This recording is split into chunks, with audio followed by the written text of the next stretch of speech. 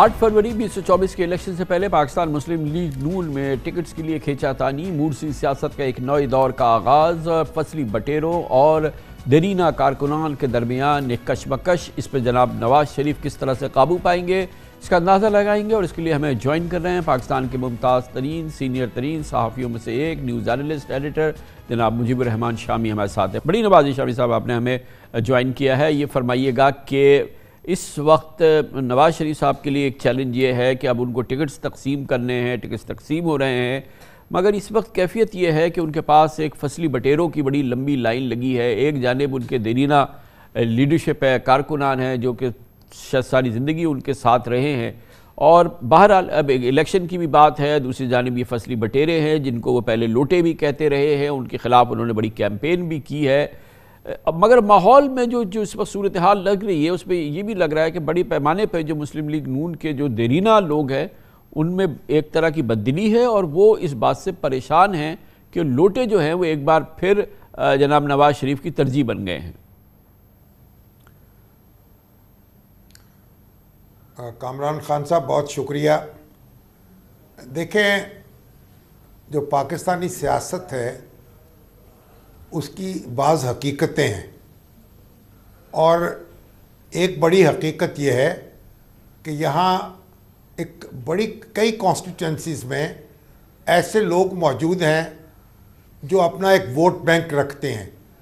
वो बरदरी का कहें, कबीले का कहें, असर रसूख का कहें, शख्सियत का कहें, उनको हम इलेक्टेबल्स कहते हैं। और जब उनके वोट, पार्टी के वोट से मिलते हैं तो फिर जीत जो है मुमकिन होती है। तो हर इलेक्शन के मौके पर यह सवाल पैदा हो जाता है कि ये इलेक्टेबल्स जो हैं, उनको किस तरह एकोमोडेट किया जाए और जो कारकुन है, सियासी कारकुन, वफादार कारकुन, पुराने कारकुन, उनके और इनके दरमियान तोज़ुन कैसे बरकरार रखा जाए। शहरी हलकों में तो ये काम नस्बता आसान है, लेकिन दही हलकों में ज़रा मुश्किल दरपेश होती है।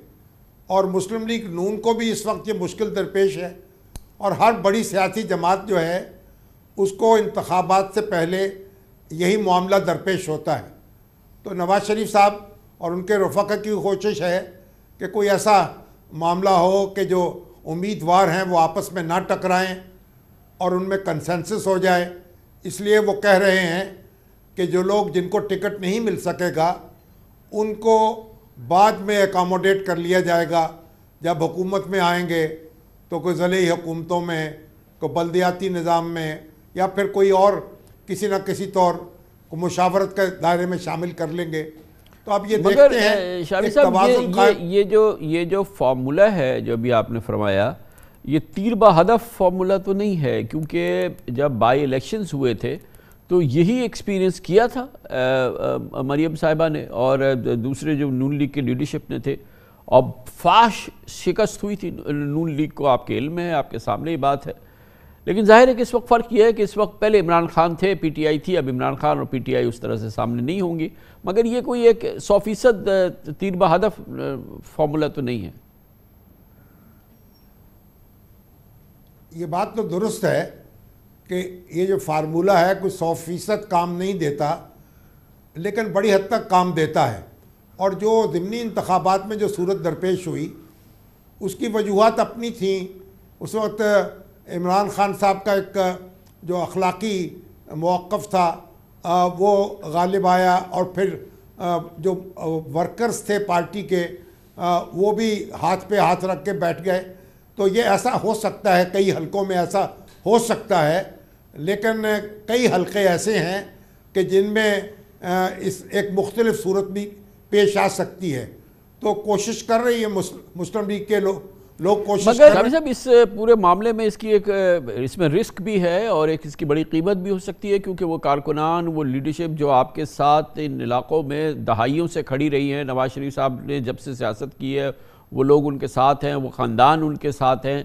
लेकिन जब उनको पता चलता है कि जब टिकट देने का वक्त आता है तो वो उसके उस, उनका हक़ नहीं मिलता वो सारी चीज़। और वो ऐसा शख्स जो कि पार्टी से कोई लाताल्लुक़ है, जिसका कोई ताल्लुक़ नहीं, उसको वो टिकट मिल जाता है।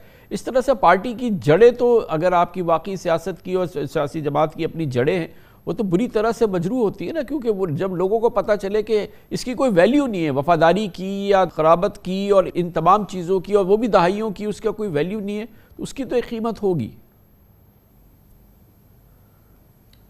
देखिए, खान साहब नज़री तौर पर तो ये बात बड़ा वज़न रखती है जो आप फरमा रहे हैं। लेकिन ज़ाहिर है कि लीडरशिप जो है, आँखें बंद करके तो टिकट नहीं देगी ना।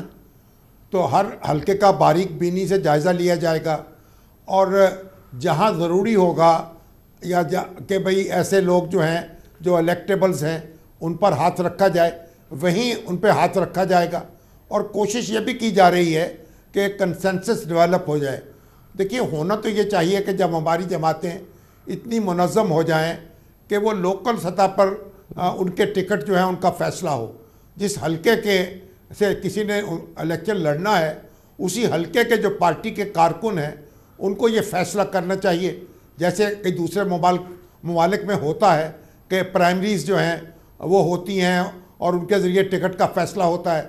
लेकिन हमारे यहाँ क्योंकि ऐसी रवायत नहीं है और जमातें उस तरह से मुस्तकम नहीं हैं तो इसलिए ये सारी चीज़ें तो हमें बर्दाश्त करनी पड़ेंगी और जमातों को भी ये मरहला जो है, इससे गुजरना पड़ेगा।